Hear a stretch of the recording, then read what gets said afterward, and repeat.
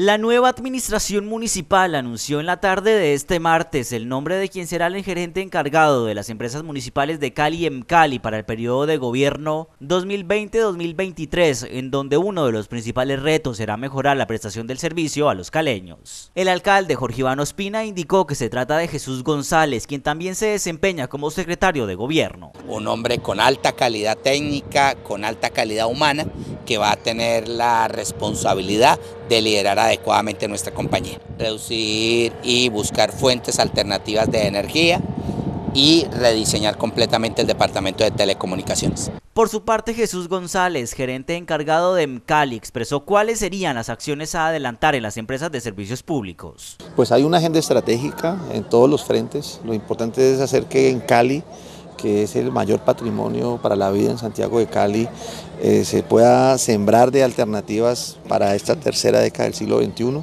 Tenemos identificados varios planes de alcalde que pasan por esta gran empresa en segundo lugar, pues por supuesto que vamos a garantizar la, presión del, servicio en el, año 2020 con todas las garantías, o sea, los procesos de transformación que se da a nivel directivo tienen que a su vez garantizar el funcionamiento técnico, administrativo de la empresa y para eso nos ponemos inmediatamente a, a abordar el proceso.